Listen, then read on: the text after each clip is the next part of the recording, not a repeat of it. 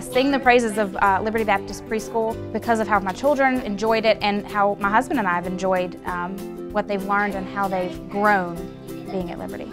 I love Liberty Preschool and I, it, got, it got me ready for kindergarten. I love Miss Smith. We have children from the age of three years old to the age of five. The first thing that uh, we do each day is to have a social time. I love waffles. You like waffles? We have our bathroom breaks and our Bible story.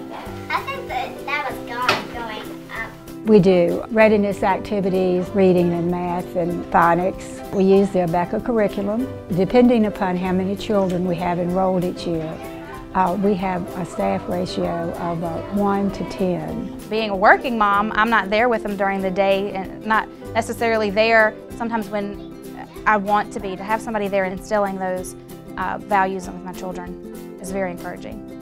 One, two, three, four, five. The greatest joy of this job to me is to be able to teach the children about Jesus, and I can do that every day. I think other people should go there because it's a great place to learn. I love preschool. I think it's a great place to learn. I've learned a lot here, and I hope the children have learned a lot because I, uh, one thing about being a teacher with three and four-year-olds, the teacher learns almost as much as the children do. Liberty Baptist Preschool is a definite asset in Appomattox County.